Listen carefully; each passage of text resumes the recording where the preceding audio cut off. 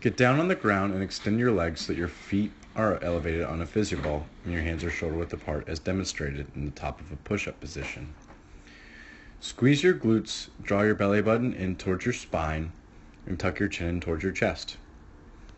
Screw your hands in the ground, right hand clockwise and left hand counterclockwise to keep your elbows in at your side and your back straight.